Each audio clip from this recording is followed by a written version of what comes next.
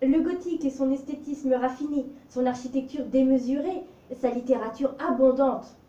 De Marie Shelley à Edgar Allan Poe, la littérature gothique ne cesse de fasciner. Bon, avec des hauts et des bas quand même, et l'arrivée du fantastique en Europe continentale vers 1830. Les contes macabres, Hurlevent, Frankenstein, Melmoth, L'étrange cas du docteur Jekyll et de Mr Hyde, le portrait de Dorian Gray, Dracula sont autant d'œuvres gothiques parfaitement intégrées dans la culture populaire. Bon, les trois derniers appartiennent plutôt au néo-gothique, mais je ne vais pas être trop regardante là-dessus pour cette vidéo.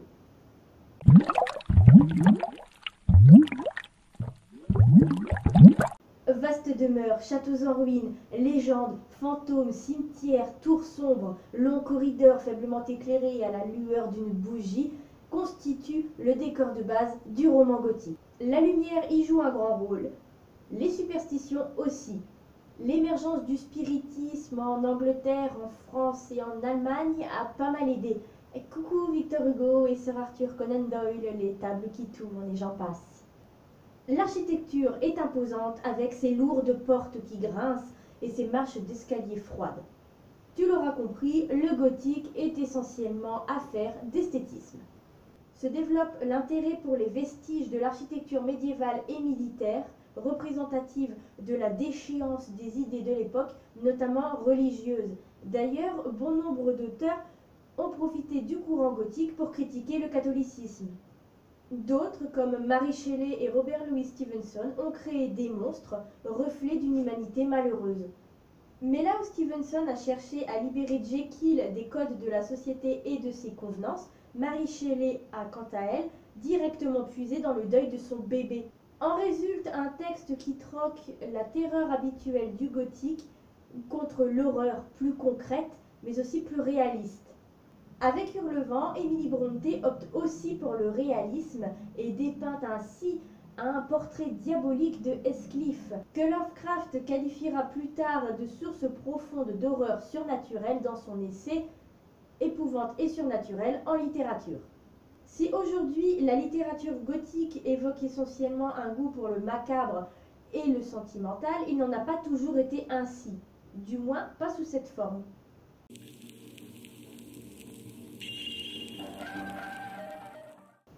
Celle que l'on appelle littérature gothique est née sous la forme de poésie.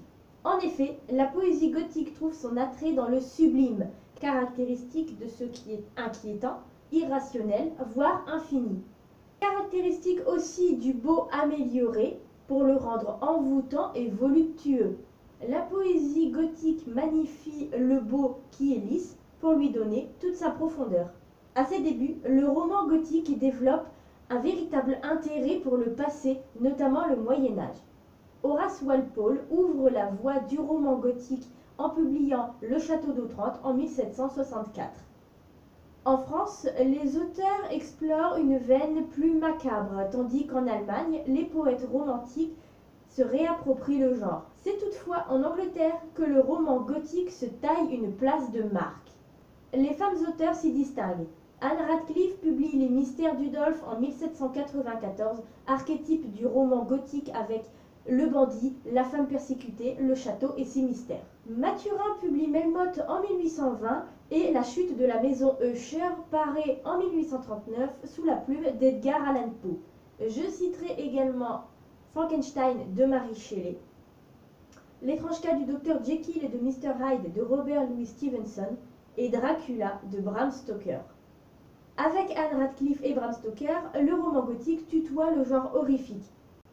Avec Poe également, même si son cas est un poil plus particulier.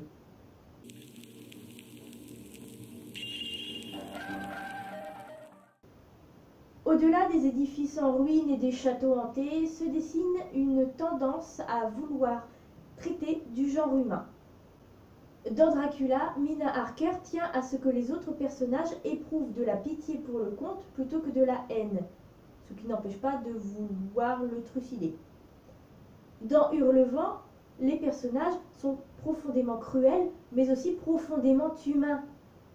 Dans Jekyll, l'auteur met en scène un médecin, un homme de la bonne société qui cherche à s'affranchir du carcan de cette même société. Poe, lui, confronte ses personnages à eux-mêmes et à ce que l'humanité représente de plus diabolique. Folie meurtrière, obsession. Je parle de cas particuliers pour les nouvelles d'Edgar Allan Poe, car en plus de côtoyer le policier ou le fantastique, elle flirte avec le gothique, via entre autres les murs, toujours en lien étroit avec les personnages. Loin de moi l'idée et l'envie de m'épancher sur toute l'œuvre de Poe, je vais donc me contenter de trois nouvelles majeures, car Révélateur appartient à ces trop rares textes courts à m'avoir happé et complètement surprise par la chute. Et ce texte est pour moi l'exemple parfait du fantastique emprunt de gothique. Le parallèle est souvent établi avec le chat noir, de par leur façon commune de mettre en doute la santé mentale du narrateur. Les tombes improvisées, sous le plancher pour le cœur révélateur et derrière le mur pour le chat noir, la présence du dit chat noir, sorcière déguisée selon les dires de l'épouse du narrateur, laquelle meurt justement à la place de l'animal, l'alcoolisme présenté comme un démon, sont autant d'éléments appartenant au gothique. De son côté, la chute de la maison Usher n'est pas en reste, puisqu'elle lie directement la propriété à la défunte sœur de l'ami du narrateur. Les nouvelles de Poe font écho au genre humain. Elles reflètent la mécanique de l'esprit, malade ou rongé de préférence, et renvoient le lecteur face à ses propres craintes, en plus de celles de l'auteur qui, je le rappelle, était portée sur la bouteille. Elle décortique le processus de la terreur, plonge les personnages dans l'abîme et voit quelle facette finira par apparaître. Poe écrivait du fantastique très inspiré des codes esthétiques du gothique. Ses phrases alambiquées, son style précieux et les lieux qu'il a choisis pour théâtre du surnaturel, de l'obsession et du macabre semblent directement jaillir des jeunes années du gothique. Mais surtout, Poe avait très largement compris que le pire des monstres est l'être humain.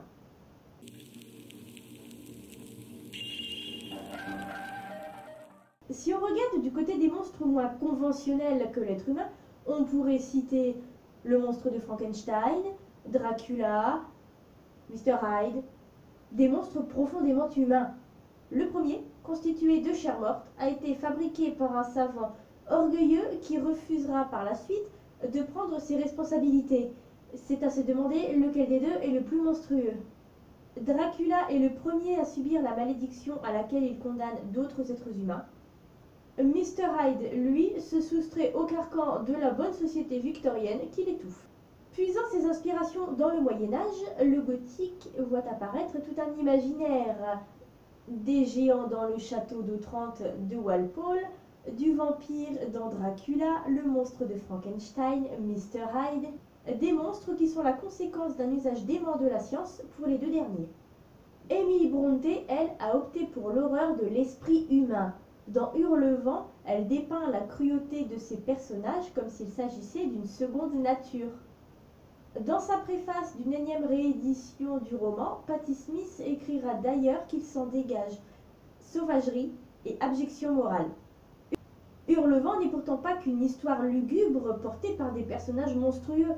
Hurlevent est aussi histoire de passion, de comportement certes cruel, mais dont l'aspect humain n'est plus à démontrer.